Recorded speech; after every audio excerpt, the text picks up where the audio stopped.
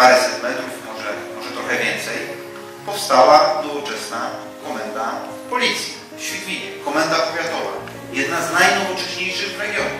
Przede wszystkim spotykamy się z mieszkańcami, rozmawiamy e, o tym, e, jak ma wyglądać e, program, który realizujemy do tej pory, ale także ten program na przyszłość. Dzisiaj dyskusja o bezpieczeństwie. Jako poseł e, tego regionu reprezentuję mieszkańców w parlamencie, ale także reprezentuję mieszkańców e, w rządzie jako wiceminister spraw wewnętrznych i administracji.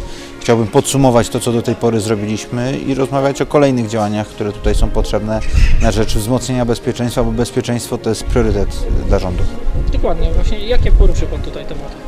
No przede wszystkim kwestie związane z y, dodatkowymi wydatkami państwa na Wojsko Polskie, dodatkowymi środkami, jakie od y, y, kąt rząd Prawa i Sprawiedliwości rządzi, są wydatkowane na Państwową Straż Pożarną, na Ochotnicze Straże Pożarne, y, na doposażenie, na to, aby także wynagrodzenia, uposażenia y, y, strażaków, policjantów były na takim poziomie, aby młode osoby garnęły się do pełnienia służby.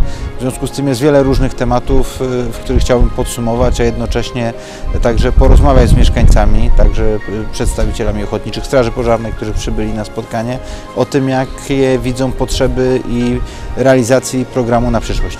Ja się staram być aktywny w terenie i, i, i cieszę się, że również na tego typu zapraszanie y, mieszkańcy regionu z powiatu świdwińskiego, drawskiego odpowiedzieli pozytywnie.